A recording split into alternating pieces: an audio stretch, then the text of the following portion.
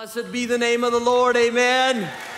Our Lord is good. Thank you. Thank you, singers, musicians. Our Lord is good. Bless the Lord, O my soul, and all that is within me. Bless his holy name. Bless the Lord, O my soul, and forget not his benefits, for he has forgiven you of all your sins, and he has healed you of all your diseases, and he has taken you, redeemed you from destruction. Bless the Lord, O my soul, and all that is within me. Bless him, bless him, bless him, bless his holy name. He has crowned you. He has crowned you with his goodness. He has crowned you with his loving kindness. He has crowned you with favor. Bless the Lord, oh my soul, and all that is within me. We're gonna bless his holy name today. Hallelujah. Hallelujah to the Lamb, to the Lamb of God. Amen. Well, hello, beautiful peoples. Y'all ready to praise the Lord Jesus Christ? Yeah.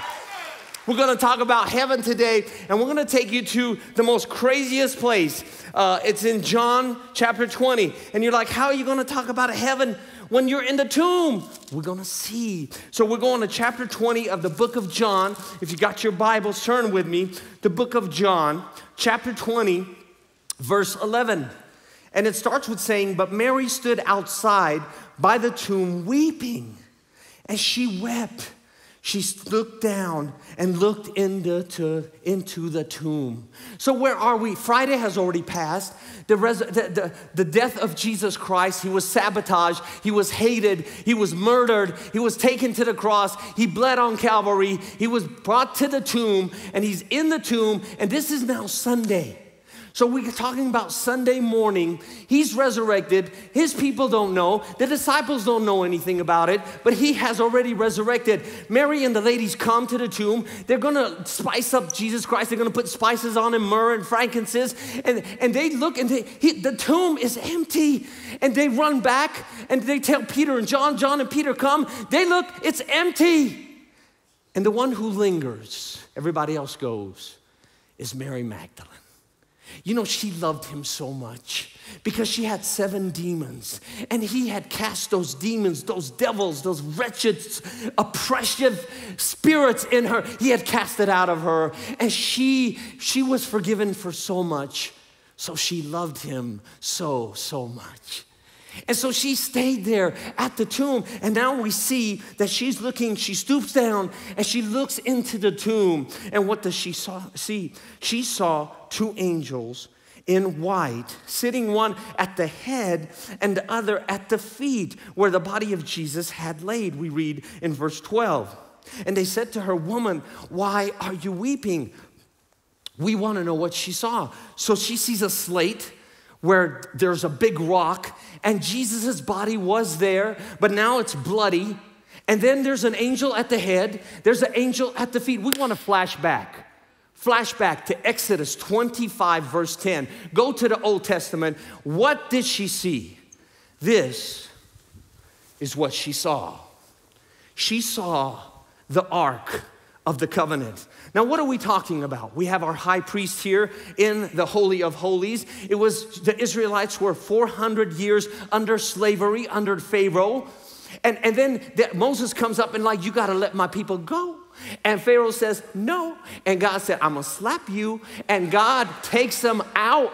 God takes them out to through the Red Sea, and they're gonna go to the promised land. It's gonna take seven, ten days. Why it take 40 years, y'all? Why? Because they're fretting, they're complaining. Watch your mouth, it's gonna take much longer. And so, according to Psalm 37 8 through 9, those who fret go into evil. The fretting leads to evil, fretting leads to sin. So, um, I know y'all don't fret, but if you do, stop it. So, because it's, it's not 40 years, y'all gotta think. And so, so they, they go through they finally get to the promised land, but in the desert, they have, they build a tabernacle where God resides with them. His spirit, God never leaves. He's always with you. And so he he in the there's an outer court where they sacrifice. There's a holy of holies where there's the bread and there's the light. And then you come to the holy of holies where the ark of the covenant is. And we have a high priest that once a year he would go into the holy only once a year.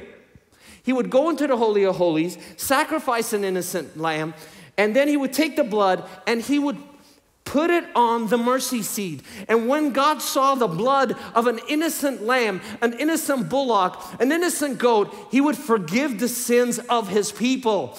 And uh, the high priest would come out through the Holy of Holies to the holy place, to the outer court, and he would say, Forgiven, forgiven, forgiven. And the people would rejoice, would rejoice, would rejoice that their sins had been forgiven for a whole year. This is the Ark of the Covenant. Inside the Ark, you'd find the Ten Commandments, you'd find the manna, you'd find Aaron's rod to say God provides, God directs, God gives. It's His favor. But above all that is the mercy seat where the blood is, because where the blood is, is above all. What did she see? She saw two angels, and now we flash forward at the tomb, one at the head, one at the feet, and she saw the mercy seat. She saw Jesus Christ, if you will. He's not there. He had risen. Yet, according to 1 John 4:10, 1 John 4:10, this is love. Not that we loved God, but that He loved us and He sent His only Son as a propitiation for our sins. What does that word mean? Propitiation, atonement. You're, it's paid for. And if you go to the Greek word propitiation, hilasmos, it's the exact same word in Hebrew for mercy seat. Jesus Christ is the propitiation. He's the atonement. He's the one that forgives. He's the one that went to Calvary, and His blood was shed, and He is the mercy seat. And when God looks down on Jesus Christ and He looks at you, and the blood is on you, He says, Forgiven, forgiven, forgiven. Hallelujah to the Lamb of God. Thank you for our high priest, Robert. And thank you for Curtis who played Jesus Christ. Bless the Lord, all my soul, all that is within me. What did Mary see? Oh, she saw Jesus before seeing Jesus. And the, the angels are like, Why are you weeping? She's like, They took away my Lord. I don't know where they taken him. Tell me where they took him. And now she turns around and looks outside of the tomb. And we're in verse 14 and she saw Jesus, but she don't know it's Jesus. She doesn't know whether it's crying and the tears and the anguish or the sun is shining in her eye. She doesn't know it's Jesus. She thinks it's the gardener. And Jesus says to her, Woman, why are you weeping? Whom are you seeking? And y'all know, y'all know, in the history of the world, this is the first rap song ever written by Jesus Christ. Because he's like, Woman, why are you weeping? And whom are you seeking? Uh. He didn't say, uh, I just said, uh. So she, he, he wants to know. And she's supposing that he's the gardener. She said to him, Sir, sir, if you've carried him away, tell me where he's at. I, I'll go get him. Jesus says one of the most beautiful words ever, ever, ever written in the Bible. This is one of my favorite verses ever. It's in verse 16 of chapter 20. It's a simple word. All he says is Mary. And in that, can you hear when he says Mary, he's not like Mary, get yourself put together, girl. Stop crying. It's Mary. His lips are drenched with grace. And when he's talking and saying Mary, he's actually saying, Mary, I am the bread of life. He who believes in me will never hunger. He who believes in me will never thirst. Mary, Mary, I am the light of the world. If you follow me, you will never be in the darkness, but you will have the light of life. Mary, I am the gate. If you enter through me, you will be saved and you will find green pastures. Mary, I am the good shepherd. The good shepherd lays down his life for the sheep, Mary. I am the resurrection and I am the life. He who believes in me, though he dies, yet shall he live. Mary, I'm the way, I'm the truth, I'm the life. Mary, Mary, no one comes to the Father except through me, Mary. I'm the vine, you're the branches. If you remain in me and I remain in you, you will bear much fruit. Without me, you can do nothing, Mary. I love you, Mary. Can you imagine if you could just change that word to your name? Can you, for a second, can you yell out your name for me real quick? Awesome. So, whether it's Carol or Stephen or Jim or Bob, whatever, Julie, whoever you are, he calls you right now. And he says, I will never leave you. I will never sabotage you. I will never trip you. I will never divorce you.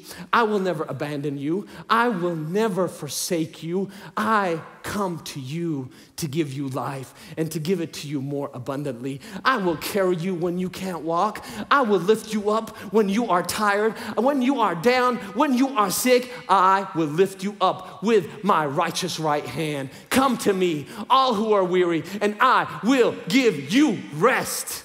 That's what Jesus would say to you. She turned to him and said, Rabboni, which means he's the master of all rabbis. You know, he's the doctor of all doctors. He's the surgeon of all surgeons. He's the lawyer of all lawyers. This man, Jesus Christ, God himself, is so beautiful. Remember, his lips are drenched with grace. Jesus said to her, Don't cling to me. In verse 17, for I have not yet ascended to my Father, but go, go tell my brethren and say to them, I, I am ascending to my Father and your Father and my God and your God. This already tells me that the resurrection is for real. Y'all want to know why? That this is proof for me that the resurrection is. Why? Because he chose a woman. And you're like, oh, that's not good to say, Dr. Sam. Chill out for one second. At that time, there are two people who were never allowed in court. You would not hear their words. One, shepherd. When he was born, who he called? shepherds. When he resurrected, who he's calling? A woman. People who were not believed and they had the lowest standard and status in society. They were treated like second class, third class, fourth class, zero class. And he chooses a woman. You know, if you were to write a book and you were to make it all good, you would take out the prostitutes that's in your genealogy. Jesus didn't. He put it there. He put those women in the genealogy. And he's now talking to a woman and he's telling the woman to go and tell the brothers. Now, if you wrote that book, you'd say, oh, we call the king, we call Pilate, we call somebody high in status. No. He chooses the lowly and lifts them up. And today he chooses you in the name of Jesus to do mighty works for him. Hallelujah to the Lamb of God. Is Jesus lying is he a lunatic or is he for real? Because he's like, I have not yet ascended. Don't cling to me. It, I'm like, I, I, had a hard time with that verse. You're like, where the hard time is? I, I don't see it. Um, look, he said he, already, he has not yet ascended. But on Friday, when he was on the cross, and he's talking to the thief that comes to the thief, that, that comes to Jesus Christ, he says, What to him? Today you'll be with me in paradise. Luke 23, 43. What does he say to his papa in Luke 23 46? Papa, Father, into your hands I commit my spirit now. So he already did ascend. Why is he saying he didn't ascend? Because now he's got his glorified body and he hasn't ascended with his glorified body yet, but he did ascend with his spirit and his soul. What you see is not who you are all the little pretty makeup and all the pretty ties and all the pretty uh, way you fix the hair and get up all ready for Sunday and you put on the birthday smile. But you was yelling in the car. I know that don't happen to you either. And, and I, uh, how you doing? Bless you. All that stuff. That's not the real you. That's the body. We're gonna be, stay fit. We gotta get better. We gotta run. We gotta do this your soul and spirit live forever. And, and that's what happened. Jesus, what happened to him when he died? Y'all know what happened to him? He went to a place called Hades. And you're like, where's Hades? Jonah 2 2, it's in the belly of the earth. Jonah 2 2. And in according to uh, Ephesians 4 8, Jesus Christ actually went to Hades. He actually went and took the spirits out of there and took them to heaven. And you're like, what? I don't get it. Luke chapter 16 verses 19 onward. Rich man, poor man.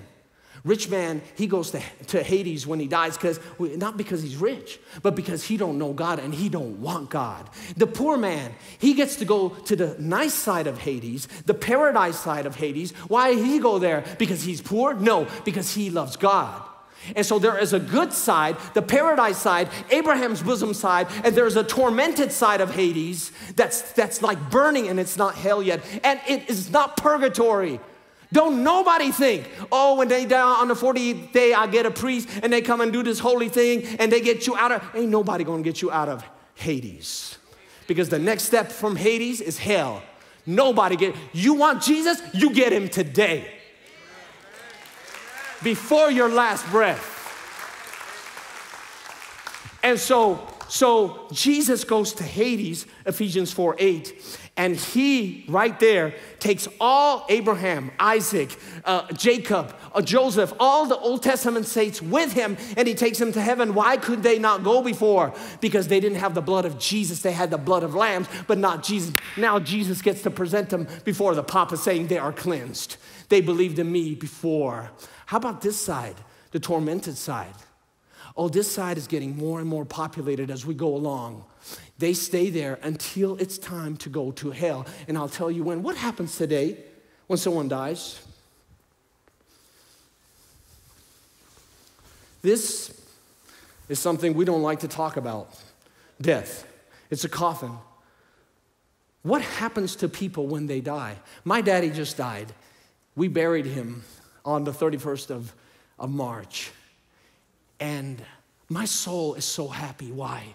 I mean, I cried so many tears because we were so close and he loved God and Jesus so much. He put that love in my soul. He put the love of the Word of God in my heart. Why am I happy? Because my daddy's body may be in the ground, and it is, but his soul and spirit is with Jesus Christ. He's dancing, he's happy. He is hearing, according to Second Corinthians chapter 12, inexplicable words and colors and beauty. And the, oh, can you imagine being with the resurrected Jesus Christ? Can you imagine dancing with him, hugging him, loving him? He is with the Father, so I rejoice. See, saints today that die go straight up to heaven with their spirit and soul. But I want you to know the Hades side that was good is totally empty. It will never be populated again. But the tormented side, those who don't know Christ and they die, they go straight to Hades on the tormented side. It is not purgatory, it's over. And that's just the beginning, the torment. And so we'll find out in a minute what happens to them. So, what happens next to us, y'all? What happens before we get to heaven? How does this all work? Well, all of a sudden, the rapture is going to occur. How do we know that? Jesus talked about that in John chapter 14, verses 1 through 3. John 14, 1 through 3. He, uh, Paul talked about it in 1 Corinthians 15, 51. He talked about it in 1 Thessalonians 4, 16. What did he say? in an atomic second, in a twinkling of an eye, Jesus Christ is going to come and take his people home. It doesn't mean if you're in church, it don't mean if you're pretty. It don't mean if you're good because there's going to be a lot of good people in hell. I don't say that with pride. I say it with a broken heart. There's going to be a lot of good people in hell. So when the rapture occurs, my daddy's body that's in the ground is going to be glorified in a split second, and it's going to meet his spirit and soul from heaven, and they're going to meet in the air with Jesus Christ. But what happens to you and me? Well, in a split second, woo, it'd be so good right now. We just, in a split second, our bodies will be glorified, and we'll go through the ceiling, we'll go through the roof, and meet our Lord in the air. And you're like, how are we going to, uh, concussion through the ceiling? Baby, there ain't no Excedrin in heaven. So, you don't know, no, no need to worry about a concussion. You just need to be in Christ because your body's gonna change. Your soul doesn't change because once you come to Christ, your soul lives forever and your soul is alive and your soul is pure and your soul is holy, righteous. It'll never change. But the mind will because our minds are messed up, huh? Some people beside you, they're messed up, y'all. You might be messed up too. I'm messed up. It's all good. God's working on me. Okay, so so we'll get to go to heaven. What happens to us in heaven? Seven years. We'll be in heaven for seven years. We'll go to the Bema seat. What's the Bema seat? Second Corinthians 5.10. It's a judgment seat. It's not like, oh, I'm going to send you to hell. You shouldn't have come up here. It's not like that. We're already in heaven. So when we're up there, when, and the angels are singing, uh, holy, holy, holy, according to Revelation 4, 4, and, and there's worship, and there's joy, and there's peace, and there's love, we're going to the Bema seat. Everything you and I did for Jesus Christ will last. We'll get crowns. He'll reward us. You'll see, you'll like, for me, you're giving this to me. I can't believe you love me so much. And He's giving you rewards and crowns in heaven. But those things we did for, for ourselves or, or in, in pride or whatever, those things burn. They don't last. They don't last. Do things for Jesus Christ. Serve people, serve God. Do it, do it for His, His glory. You will get rewarded in heaven. And then and then we're going to have a, a marriage. It's not uh, till death do us part. We, the church, get to marry Jesus Christ. We'll become one with him, according to Revelation chapter 19, verse 7. We'll get to marry Jesus Christ, and he will give us white linen, and we will be, listen to what the word says, we will be rejoicing. We will be glad. There's gladness and rejoicing. There's no weeping in heaven as you're doing this marriage with Jesus Christ because he loves you so much, and he gives you white glorious linen. And then we get to have a supper of the Lamb. Revelation 19 7. This is seven years up, up in heaven. And, and the marriage supper of the Lamb. And we're gonna eat some food like you never, ever, ever seen, y'all. It's gonna be so good. Ain't no cardiologist gonna go, watch your body mass index, boy. You obese. You need to change your way. You need to walk 10,000 steps a day. You know, you know how cardiologists are. So you don't have to worry about the food. You eat like you, oh, it's, it's heavenly, it's good. The taste buds are just gonna like just pop because you're like, I can't, I can't believe this food. I can't believe this love. I can't believe this goodness. I can't believe this favor. I don't have no worries here. What's happening on earth during the seven years? Ooh, child, don't get stuck down here. Because if you think coronavirus was bad and ugly, ugliness is about to show its face in the tribulation. If you want toilet paper and a bottle of water, you won't have to get the 666 to get it. 666 right hand, 666 on the forehead. When you walk into my office, my manager, she'll take your temperature, stick your forehead out, we'll get a temperature. They're just training you today, training the people, stick your forehead out. Let me get you 666. It's just a training. Get ready. Get ready. And so, hell on earth, volcanoes, tsunamis, half of the world's population, I, four billion people will die by the half of the tribulation. That's crazy. It's gonna be terrorizing, sores on the skin, sun scorching people. It's gonna be madness. Ain't nobody got your air conditioning going. You are not gonna sit there pretty and going, I like this. No. I'm telling you, don't get stuck down here. And so after that seven years, we come down on white horses, y'all, 19, 11 of Revelation, with Jesus Christ for the war of Armageddon. He will take out all the world governments. Say bye bye to the world governments. Say bye. Y'all don't do us no good. Jesus does us good. We respect our government. We pray for our government. We want the Lord to heal our government, but the Lord's government is the best government ever. And so, he comes down, he obliterates everything, and all of a sudden, he will rule from Jerusalem for a thousand years. Ooh, those who got glorified, those crowns, we're gonna be ruling the lands. I told them I want a little part of Maui, and uh, it's all good. Y'all let them know who you want and uh, where you want. And so you, you get what you, he gives you according to what we did for him. Now, that doesn't mean we work to get salvation. He gives us salvation. He did the work on the cross. We didn't do nothing to deserve salvation, nor will we ever deserve anything to get salvation. But after we get salvation, we love him so much, we work for him we love him. Thousand years, the lion ain't gonna roar, the, the snake ain't gonna bite. Uh, it's gonna be so beautiful during that. I don't have time to tell you all, but if y'all wanna know, I finally, finally, finally. Rev It Up series, my books on Revelation. It took me four and a half years to write these, and the Lord said, Child, before the rapture, please. before the rapture. So it finally came out, and it'll be outside, and I'll be outside with you. So, thousand years. And then, and then, and then, oh, oh, oh. Then all those people who did not accept Jesus Christ, they will resurrect. Now it's their turn for the rapture. They will get their eternal bodies. They had to wait that long. They, their bodies were just dead, but they were being tormented in Hades. Their Hades spirit and soul rises up. Their body, eternal body, meets them, and they get to the great white throne of God. Ooh. Books will be opened, according to Revelation chapter 20. Books will be opened, and the book of life, the Lamb's book of life, God will be looking. Your name is not in here. And they'll get to go to hell, which is so tragic. Is your name written in the book of life? Because if it isn't, you go into the great white throne. And at the great white throne, chronicles of books are opened.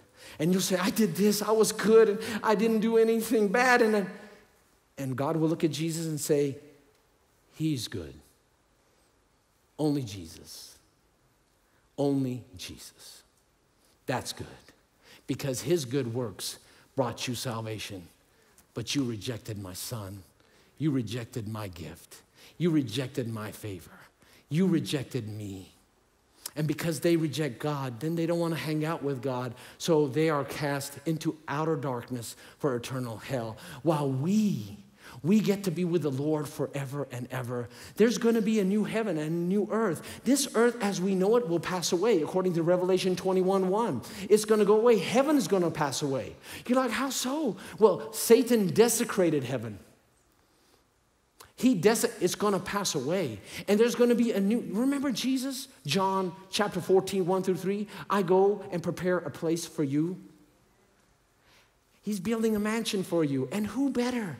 You don't need no doctor or a lawyer or a contractor. You need Jesus. He's the carpenter. He fixing it with his hands a place for you. And what's this place like? Well, it's called the New Jerusalem, and it's going to descend down from heaven, and it's going to be on the new earth. And, and this, it's, it's 1,500 miles long, 1,500 miles wide, and it's 1,500 miles high, and it's got like golden streets it's got walls made out of diamonds. It's got 12 foundations. And, and the foundations are like sardix and, and sapphire and rubies. It's so beautiful. It's, it's going to be so elegant. And now, now you know why there ain't no thieves in heaven. Because they'd be walking by the wall. They'd be like, oh, I like that diamond. That's messed up. But that's why there ain't no thieves because there's a lot of gold and jewelry up there. And we're just like, this is my mansion. I get to, live. it's going to be with God. You're not going to say TGIF, thank God it's Friday. You're going to say TGIH, thank God it's heaven. You're going to be, it's not going to be people like, well, I think I'm going to be bored. Shut up. There ain't no boredom in heaven. You're gonna go from one universe to another universe. Today, y'all get all excited. We get all excited. I'm going to Disneyland. It's the happiest place in the world. I'm so happy. You ever see the children in Disneyland? Like, I'm like, that ain't happy.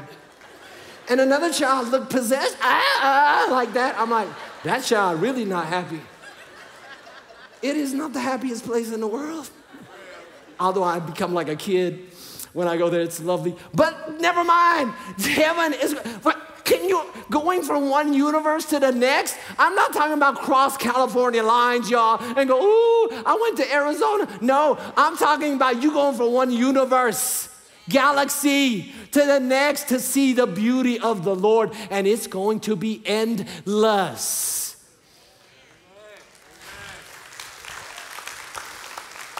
There will be no more tears. No more sorrow. No more pain. No more darkness. No more heartaches. No more falling. No more losing. no more loss, no more death. It's going to be a beautiful, beautiful place. I'm going to be bold and ask you something. Is your name written in the book of life?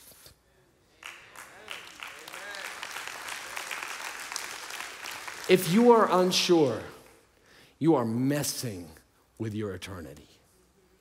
If you are unsure today, you are messing with eternal life because this ain't it. And if you are unsure today, going, I don't know, I don't know, I hope I am, I think I am, I, I think I, I, will be, I don't know if I go to the rapture, will I be up or will I stay down? Do I have to go through the tribulation? Will I get to 66?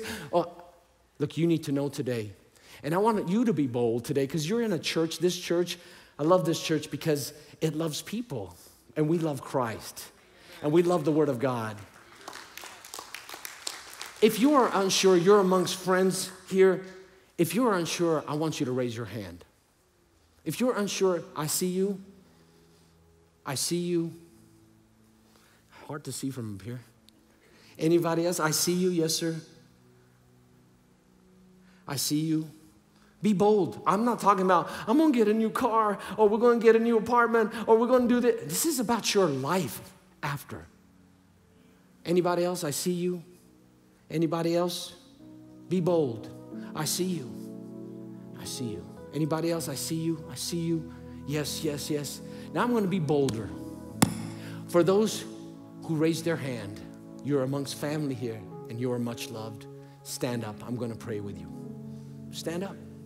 You raise your hand. Now stand up. Amen. Amen.